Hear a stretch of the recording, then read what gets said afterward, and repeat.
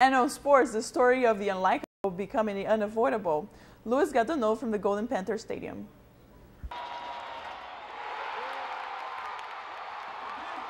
FIU football team champions of the Sun Belt Conference? Yes, you heard that right.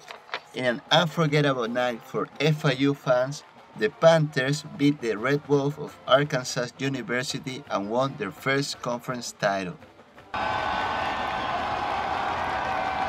But the road to victory was not easy and came down to a 4th and 7 with less than 3 minutes to play in the fourth quarter and the Panthers down 24 to 23.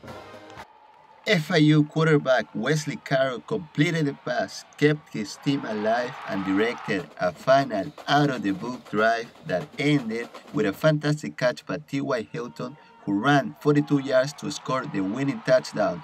Then a two-point conversion secured the game.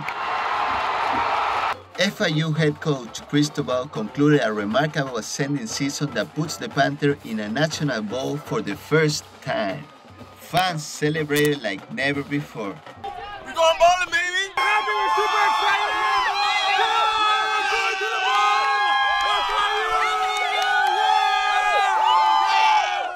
This is jubilation, baby! We go to the bowl! We go to the bowl! We going Number Louisiana. one! Reporting live for WFIU News from the Panther Arena, this is Luis Roca.